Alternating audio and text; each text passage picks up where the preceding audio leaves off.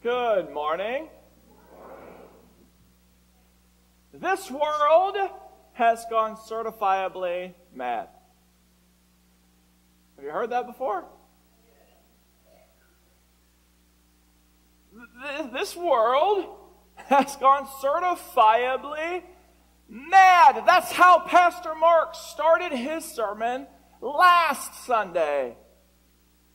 I draw you back there today for the very simple purpose of making this statement.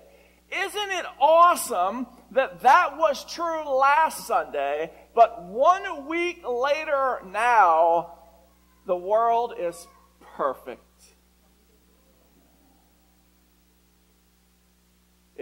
Isn't it? You mean to tell me that last week the world was certifiably mad and and this week it's still certifiably mad? Come on! In one week, clearly, everything has gotten better, right? In fact, it may have gotten worse.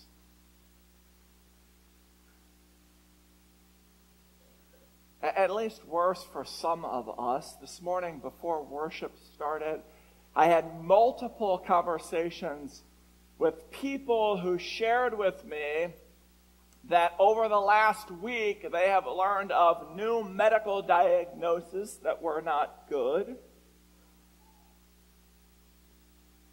of tests and challenges. I, over the last week, had a family sit in my office preparing for divorce. Now that sounds super strange, but they're actually preparing for divorce. At least the wife is because she's convinced the husband is preparing to leave her. Just minutes ago, I had someone stand in the entryway and say to me, Pastor, this past week I buried three of my closest friends. The world hasn't gotten phenomenally better in a course of a week from being certifiably mad to now perfect. In fact, at least for those people, the world has gotten worse in the course of a week. And that's not even to mention what happened last Tuesday. Did any of you stay up late at night on Tuesday? Maybe later than you should have?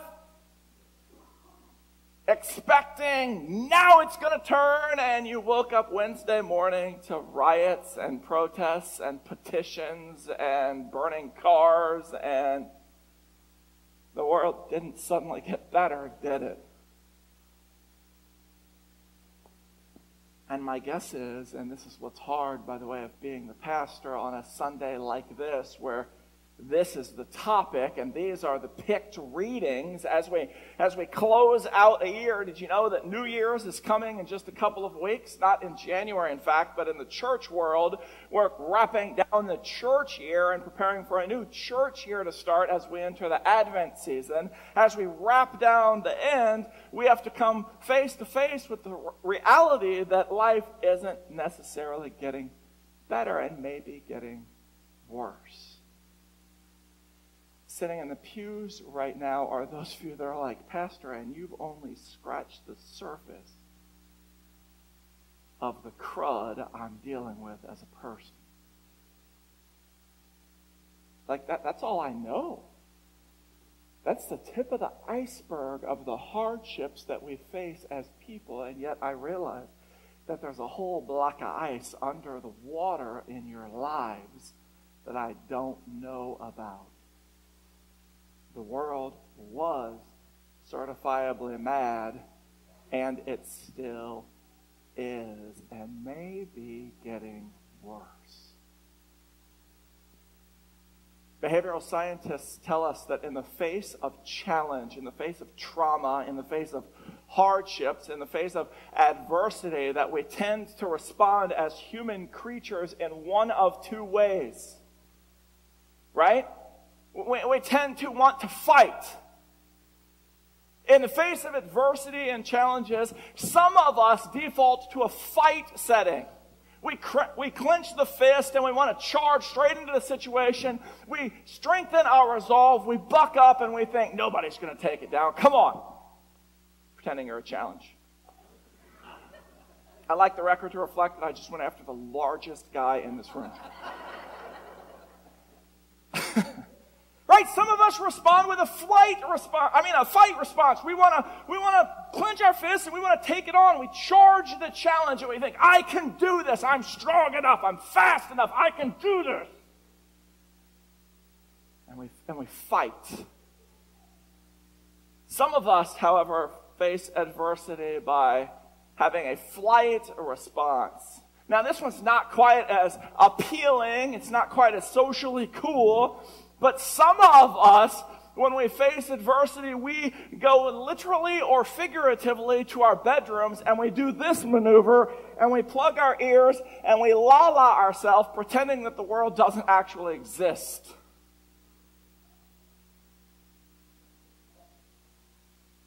We try and ignore it. We try and flee from the challenges that are before us. And while that's not as appealing, at least by our cultural standards of fighting, I would argue with you that both responses are inadequate in the midst of a world that not only has gone mad, but may be going more mad daily. It's inadequate to either fight or to flee.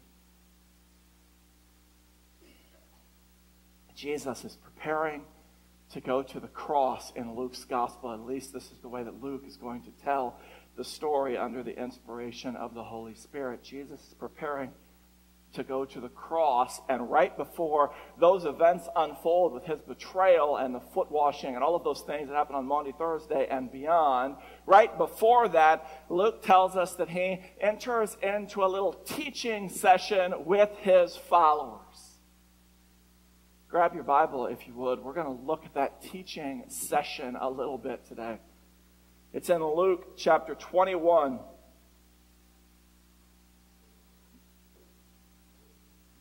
Our reading picked up today in verse 25, but honestly, we could go back almost to the front end of chapter 21 because in this whole section, Jesus is laying out the fact that the world not only has gone mad, but is preparing to go much more so. That the world is going to go truly mad. Here's what our reading said in case you missed it. And then, and there will be signs in sun and moon and stars and on the earth distress of nations in perplexity because of the roaring of the sea and the waves, people fainting with fear and with foreboding of what is coming to the world. For the powers of the heavens will be shaken. Does that sound at all familiar to you? Now, I'm not talking about familiar, like, yes, I've heard that from the scriptures before, but as you lived through the last week, does that seem to find resonance? That the world will be shaken, that it will be troubled, that it will quake and experience difficulties? Does that sound familiar to you? Jesus is, is speaking directly to the trauma of hardships. However, Jesus is not speaking directly to the hardships that you faced this last week. Yes, you heard that correctly. Luke 21 is actually not Jesus looking forward to the end of the world and saying, Get ready for when Donald Trump is elected president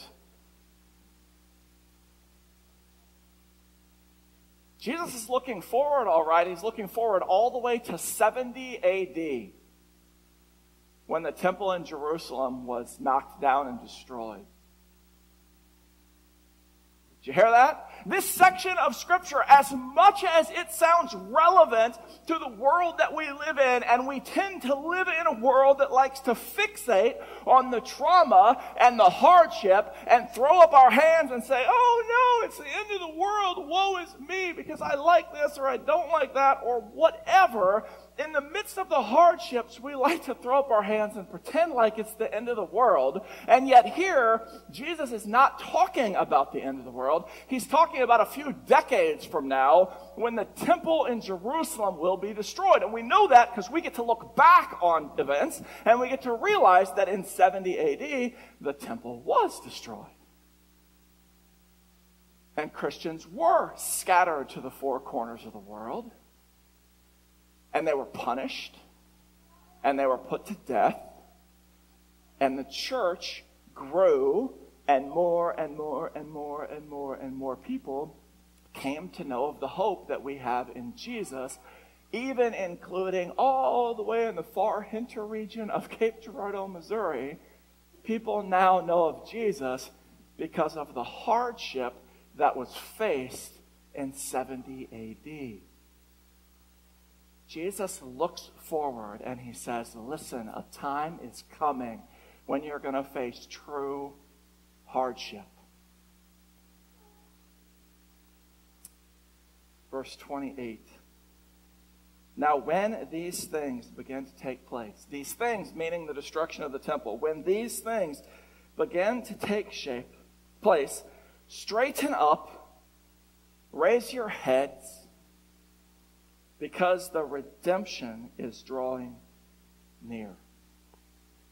Straighten up. Don't slouch and be woe is me. Straighten up. Lift your heads because redemption is drawing near. In other words, in the midst of the hardship, I'm going to do something pretty cool. But instead of fighting, instead of that being your response and wanting to duel with a culture that has changed, not only in Jesus' day, which it did change dramatically, but also in our day, as it is changing dramatically, the response is not to fight, church. Nor is the response to bury our head in our hands and hide. It's not fight and it's not flight, it's faith. Straighten up. Look up. For salvation is drawing near. It's coming. It's here, in fact. The response of the church in the midst of the hardships, in the midst of job loss, as one person told me recently, they just lost their job. And if you didn't know this, it's hard to pay bills when you don't have a job. In the midst of divorce that's imminent, in the, in, the, in the midst of cancer or dying friends, in the midst of all of that, the response is not fight or flight, it's faith. It's when we stand as the church and we trust nothing else because everything else the scriptures tell us is shifting sand. We trust nothing else except God and his promises. And for the record, this is a super scary place to hang out.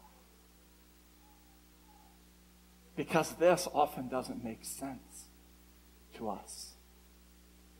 But this is not about making sense to us. This is about trusting the one who holds it in his hands. The response is not fight or flight, it's faith.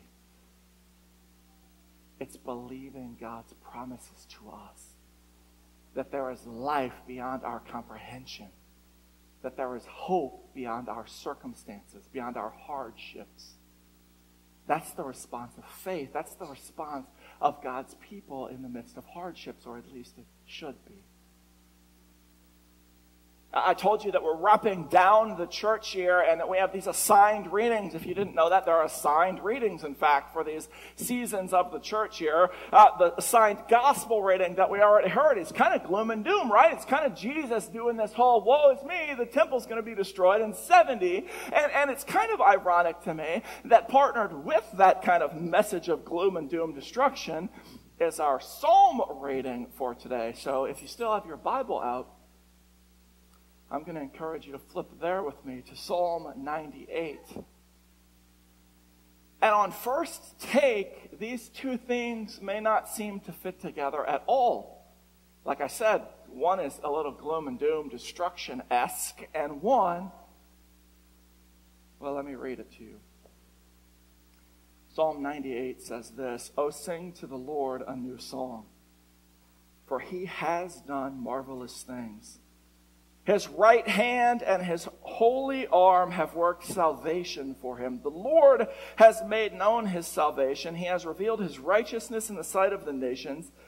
He has remembered his steadfast love and faithfulness to the house of Israel. All the ends of the earth, like Cape Girardeau, all the ends of the earth have seen the salvation of our God. And make a joyful noise to the Lord, all the earth.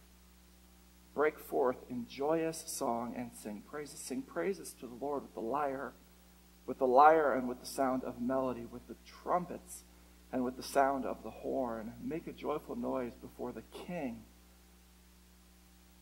you heard that right. Before the King, the Lord. Let the sea roar and all that fills it, the world and all who dwell in it. Let the rivers clap their hands. Let the hills sing for joy together before the Lord, for he comes to judge the earth. And he will judge the earth with righteousness. And the peoples, he will judge the peoples with equity the response of faith is pretty simple. It's kind of laid out here in Psalm 98. It is to sing to the Lord a new song and realize that today is new because God is also at work in the world. It is to skip down a couple verses and to make a joyful noise to the Lord. You can skip down a couple more verses and it is to sing praises to the Lord with a whole bunch of instruments, by the way. Why? Because he will judge the world with righteousness. And he will judge the people with equity. As we wrap out the church year and as we roll into probably another week of stupid craziness, I mean, I don't want to spoil it for you. So if you don't like the end of the movie, you can plug your ears. But, but let me give you a little spoiler. This week's probably not going to get better either. That ruin it for you? if you like hold out hope that last week didn't quite get it done, but this week's going to be perfect. The world's not necessarily going to get better this week either, but we as God's people don't respond by fighting it or fleeing it. We respond by trusting the God who holds it in his hands. That's the response of faith in the midst of life's turmoil. Let's pray. Heavenly Father, God, you are good and your mercy endures forever. God, in the midst of all of the craziness that we're dealing with, all of the hardships that we're facing, be that the death of friends, the death of family, the loss of employment, the shifting family dynamics. God, be that health challenges for ourselves or for others in the face of political difficulties and chaos and protests and petitions, in the midst of all that life throws at us, Lord, we desire to respond in faith, to trust you and to trust your promises, to lean into your grace, and to celebrate that you are good and your mercy endures forever. Lord, help us to sing a new song. Help us to make a joyful noise. Help us to sing your praises so that the world, even in the midst of life's hardships, that the world may know you. Lord, use us this week to that end. We pray this in your name, Jesus. Amen.